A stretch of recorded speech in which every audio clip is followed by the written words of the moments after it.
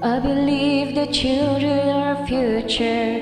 Teach them well and let them lead the way. Show them all the beauty they possess inside. Give them a sense of pride to make it easier. Let the children's laughter remind us how we used to be. Everybody's searching for a hero. People need someone to look up to. I never